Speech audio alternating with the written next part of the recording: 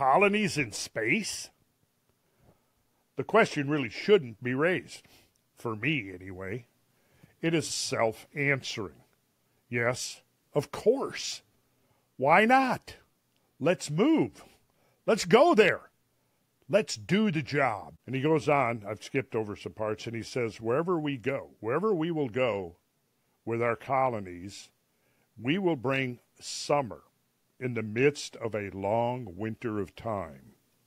Each of us is a hearth, each of us a small solar furnace digesting frosts and speaking suns.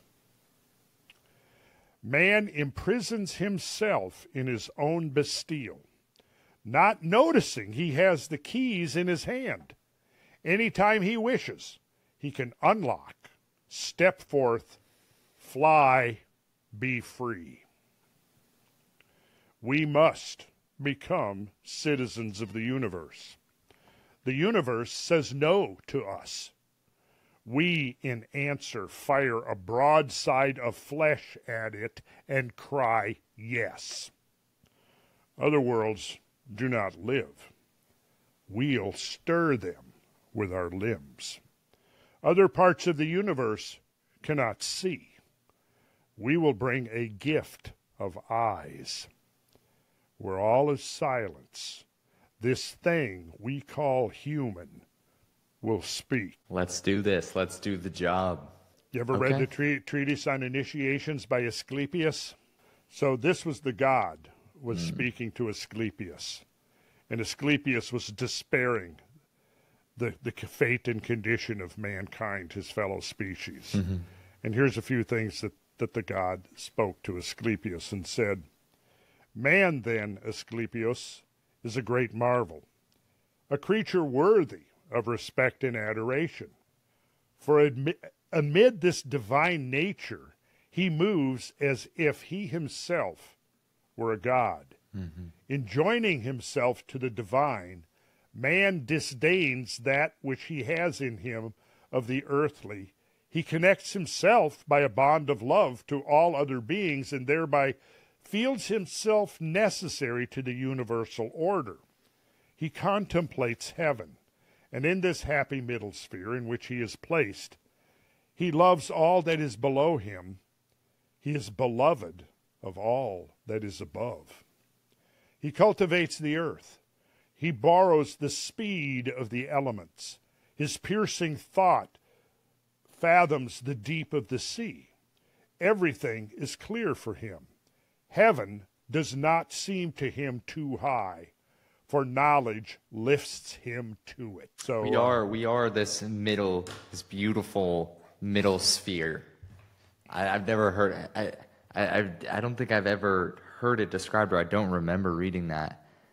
But we we do exist in this state. It feels like in betweens where we can grasp and play with the above.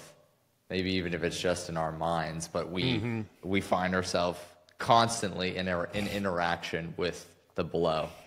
Or I guess you could say um, with anything that we experience in our existence as human beings, other species, and, and nature around us, and our our ability to relate with it and to consistently develop and change and actually adapt to the adapt the environment around us and adapt to the environment around us is kind of what what separates us mm-hmm.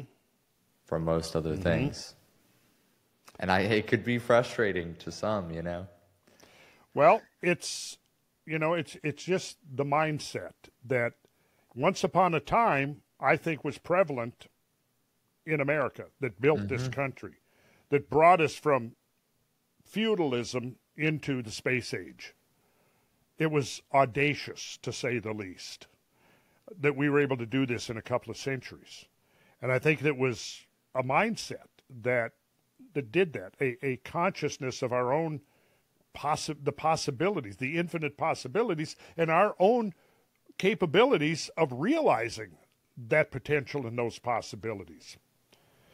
The, the, the, the initiation goes on to say this, I'll, and this ends it. I'll, I'll, it ends with this. He's talking to Asclepius, and he says, talking about mankind, humankind. They will pursue the inmost secrets of nature, even into the heights, and will study the motions of the heavens.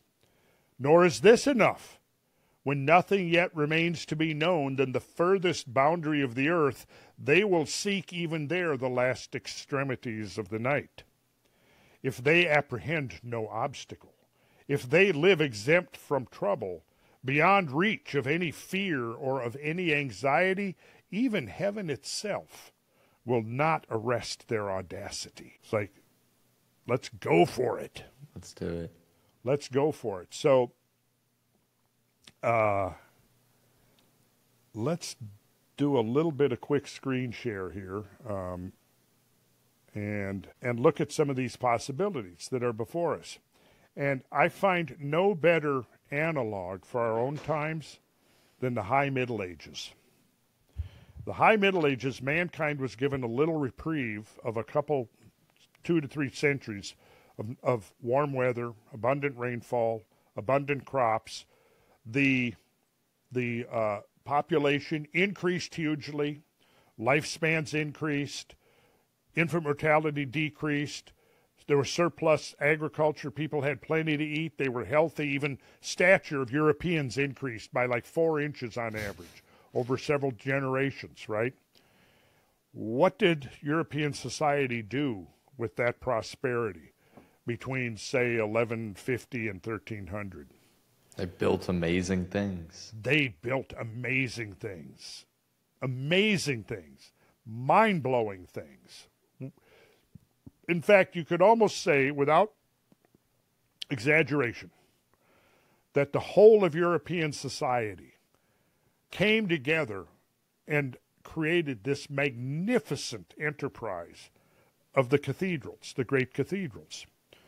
And when you begin to study into those cathedrals, and you realize the amount of labor and effort and knowledge that went into them, and not just even even a single cathedral like Amiens or Chartres would be extraordinary. But there's like 80 of them. And then there's like 500 lesser, but even in their own right are spectacular and magnificent. Mm. The stained glass windows that have refractory properties that we still haven't really figured out yet the, the recipe for the mortar that bonds the stones together is harder, harder than the stones themselves, creating an integral mass. The geometry that, that, that was utilized in the design and the construction of these cathedrals, some of which I'm going to be teaching in the Sacred Geometry retreat that's coming up at the end of the month. The engineering skill, the, the, the sculptural programs that are just breathtaking when you look at how well executed they are. The, the, the stone quarrying, the stone cutting, and the stone carving. You're talking about masters of these skills. Where did they come from? It's a mystery. Who organized them? Who organized these guilds of these builders? Just showed up, you know, between uh, roughly 1830 and 1850 in 20 years. Boom these gigantic things are coming up out of the ground. And you look at these soaring ogival vaults and towers, they're totally aerodynamic. Look sometime, in fact, I can show you a, a, a slide here where you look at the cross section of the ogival vault of Chartres and superimpose that on the aerodynamic form of the space shuttle. Perfect fit, right? They were showing us the, the, the, the, spires with the cross at the top well, the cross is the symbol of the material world, isn't it? Mm. It's the symbol of earth, right? What happens when you put that cross on the top of the tall, tapered steeple, which coincidentally has very similar proportions to that of a rocket ship? Look at a Saturn rocket ship and then look at your typical church steeple. It's like a symbol, it's right there. It's like here's the rocket ship lifting up the material world towards the heavens. That's what every church steeple with a cross on the top is signaling that message to us. Somebody back then in the high Middle Ages, some force, something, was able to inspire a whole continent of people to pick up trowels and go to work on this great project. And only when the climate finally turned on them in the 1300s, when the Little Ice Age, when that warm period came to an end and the Ice Age came back, and the crops failed in the field, and people started going hungry again.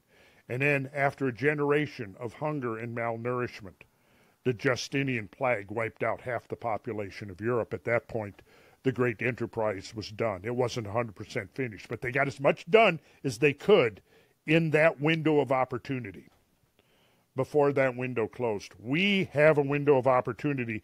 We're not going to be building cathedrals of stone right out on the plains of Europe. We're going to build cathedrals of precious cosmic metals that we can mine ourselves from the moon, from the asteroids, and we will build the holy city. We will build a cosmic civilization. And if we can succeed and do that, well, yeah, the angels, the angels will open the gateways for us and say, "Yep, you've proved your worth. You can now rejoin the celestials." But until you've proven the worth, we're going to stay out of your business. We're going to let you know we're here. Oh yeah, we're, we're going to let you know we're here, and we've been here all along. But as part of our creed is we don't intervene. Mm. We don't intervene. We have a po- strict policy of non-intervention. until until we get signals from you that you're standing at the doorway and you're knocking at the door. And if we deem you worthy, we'll open that door. And that could happen. That could happen within a couple of years, within a few years.